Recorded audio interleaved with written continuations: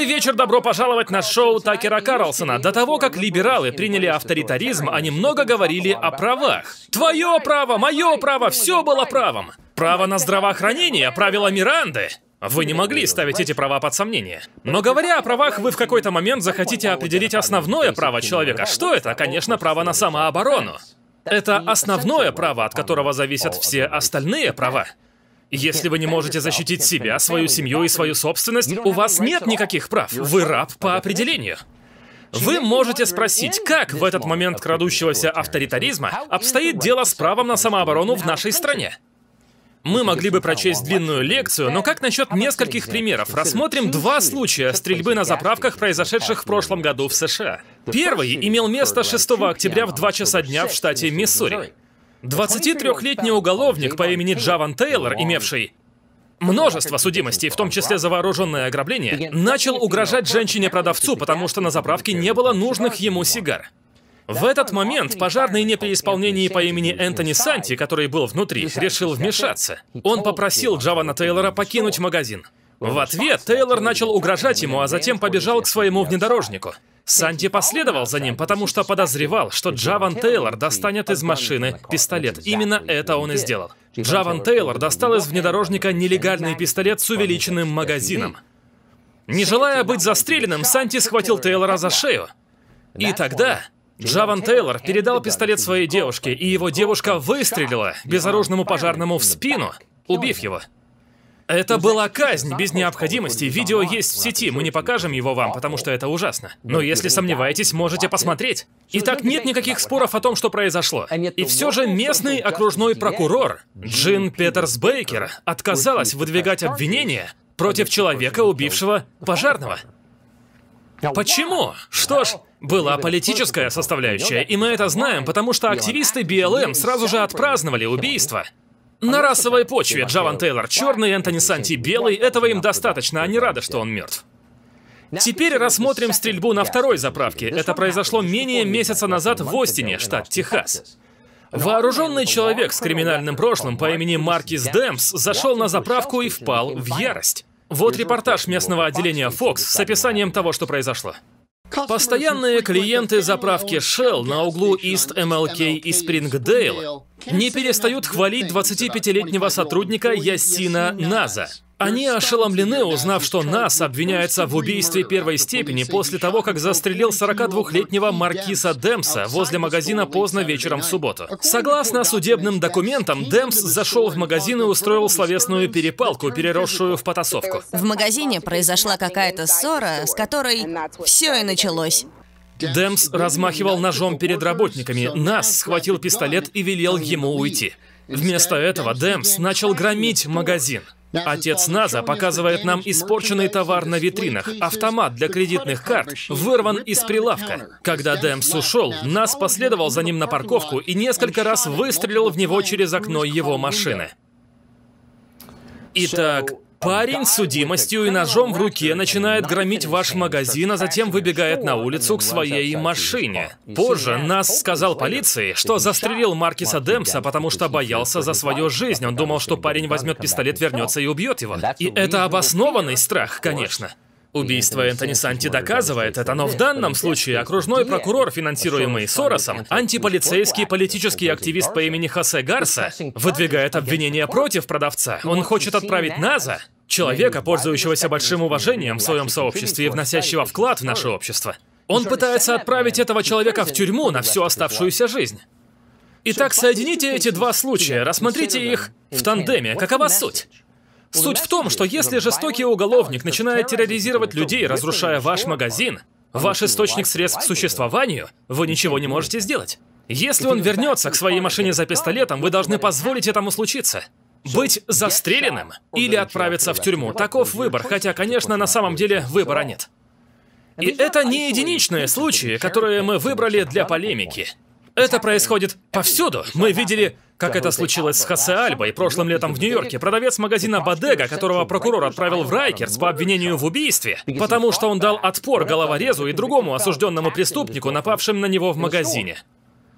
Обвинение в конечном итоге было снято после того, как общественность возмутилась, но Альба уехал в Доминиканскую республику, потому что видел, к чему все идет. Самооборона — краеугольный камень всех свобод, без которых вы не можете быть свободным, без которых вы собственность. Самооборона фактически становится незаконной во многих местах. И не только в очень либеральных местах, таких как Нью-Йорк. Но даже в Штатах самыми сильными законами о самообороне, Аризона, например, позволяет жителям стрелять в нарушителей частной собственности. Так, 73-летний Джордж Аллан Келли жил прямо на границе. Вы, возможно, слышали, что Джо Байден открыл границу для миллионов и миллионов людей из других стран, личности которых мы не знаем. Итак, если вы живете на границе, это полностью изменило вашу жизнь и напугало вас.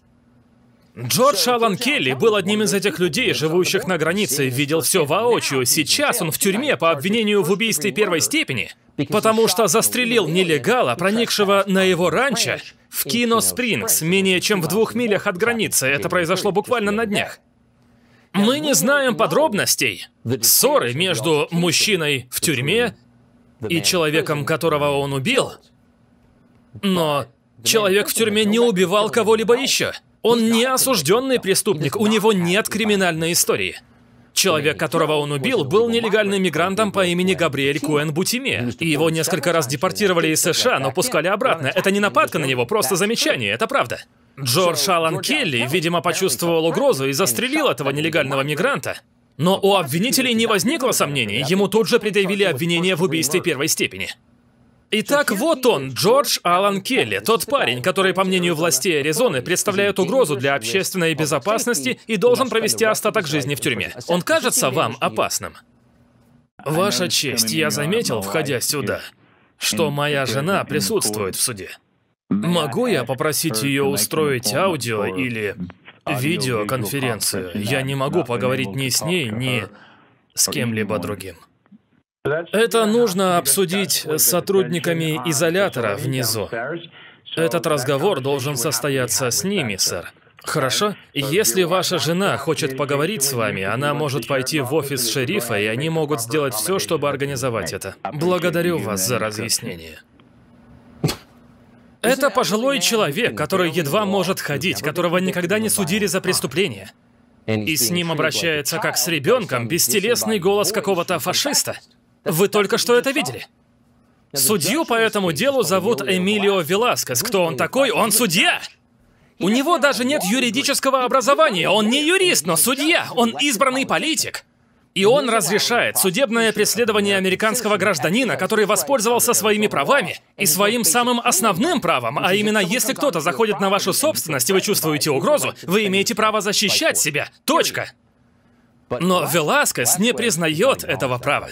И поэтому установил залог за этого пожилого человека, чья жена живет одна в доме прямо у границы, в размере одного миллиона долларов. Итак, новость об этом деле облетела Аризону, и люди были справедливо возмущены тем, что делают с этим человеком. Люди пытались собрать деньги, чтобы заплатить залог на GoFundMe. Но GoFundMe не позволил этого. Этот пожилой мужчина гниет в тюрьме, пока его жена живет одна на границе, которую Демократическая партия держит открытой. И вы не можете собрать деньги на его залог. Они закрыли, GoFundMe закрыл возможность собрать залог для этого парня. Конечно, вы можете собрать деньги для BLM, пока они сжигают нашу страну, чтобы не допустить переизбрания Дональда Трампа. Но вам нельзя собирать деньги для людей под стражей по обвинению в убийстве на залог в 1 миллион долларов, защищавших свою собственность на границе. Настоящее безумие и угроза для всех нас. Даже в Техасе, который в некоторых местах все еще остается свободным, самооборона постепенно становится незаконной. Несколько недель назад бандит вошел в закусочную с чем-то вроде пистолета, до смерти напугал посетителей и забрал их деньги. Он направил этот пистолет, оказавшийся муляжом, на нескольких покупателей. Как бы вы себя чувствовали, если бы вы были в ресторане и какой-то псих с оружием начал бы тыкать стволом вам в лицо и забрал ваши деньги? Что ж, один смельчак встал и устранил угрозу. Вот он. Мужчина в маске и перчатках в такерии около 11.30 вечера в четверг направляет на клиентов что-то похожее на пистолет и требует денег. Пока некоторые прячутся и бросают деньги, этот человек действует, как только грабитель направляется к двери, все еще с пистолетом наготове. Он взял деньги, развернулся и пошел. И тут клиент встал и застрелил его. Рассерженный стрелок понимает, что пистолет грабителя пластиковый. Возвращает украденные деньги клиентам, делает еще один глоток и уходит до прибытия полиции. Итак, было бы интересно, и мы должны это сделать, показать это видео на всю страну. И давайте проведем референдум о том, что делать с человеком, застрелившим вооруженного грабителя. Вы с семьей в ресторане, входит какой-то сумасшедший в маске и сует вам в лицо то, что вы считаете пистолетом, и крадет ваши деньги. И кто-то встает и стреляет в ответ. Сколько американцев считает, что этот парень должен сесть в тюрьму? Вероятно, около нуля. Но полиция Хьюстона вместе с окружным прокурором представляют этого человека перед большим жюри, чтобы отправить его в тюрьму. Они говорят, что он стрелял в преступника слишком много раз. Хорошо. Нетрудно понять, почему люди стараются уложить жестоких головорезов. Если этого не сделать, они выйдут из тюрьмы и начнут терроризировать больше людей. Это происходит повсюду. Это произошло в Тьюпело, штат Миссисипи. Миссисипи контролируется республиканцами. Политики в Миссисипи начали выпускать преступников условно-досрочно, в том числе 26-летнего Криса Коупленда. Его неоднократно судили за кражу со взломом и угон. Коупленд был на испытательном сроке, когда казнил продавца на заправке после того, как ограбил его. Он заставил продавца, человека по имени Парм Вирсинг, сесть, а затем выстрелил ему в затылок. Это ужасные кадры, но они реальны. Отвернитесь, если не хотите этого видеть.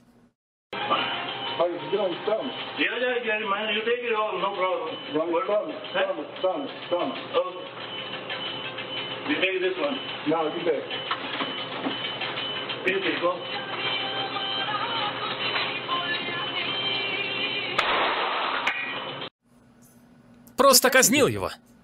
Политики чувствуют себя добродетельными, давая преступникам второй шанс. Кстати, осужденные заслуживают второго шанса. Некоторые заслуживают освобождения.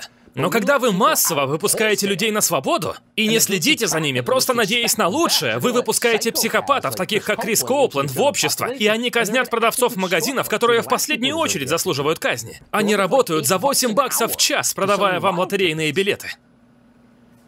Тем временем люди, которые защищаются от преступников, получают максимальные сроки. Правительство защищается с помощью телохранителей, у них куча телохранителей, за которых платите вы.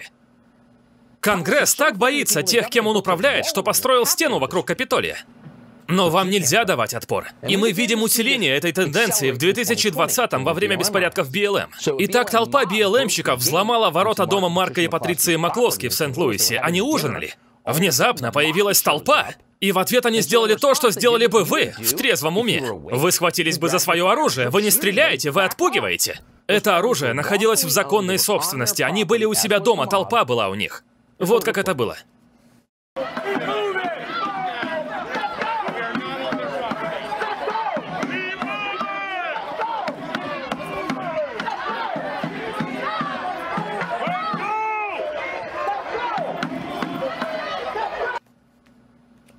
Помните, они были расистами, верно? Группа высокопривилегированных детей появилась у их дома, чтобы угрожать им. И они сказали «отвалите», так что они расисты, пишет Вашингтон-Пост. И затем, конечно же, прокурор Сороса по имени Ким Гарднер обвинила их. Обвинила Маклоски в преступлении. Не толпу, а Маклоски за то, что они осмелились защищать себя. Их оружие было изъято. Конечно, не для того, чтобы обеспечить чью-то безопасность, как раз наоборот. Сент-Луис не стал безопаснее. При Ким Гарнер в городе самый высокий показатель убийств за последние десятилетия. Так что дело не в безопасности. Они хотят обезоружить вас, чтобы вы не смогли защитить себя от их планов. Слава богу, Марк Маклоски и его жена были оправданы.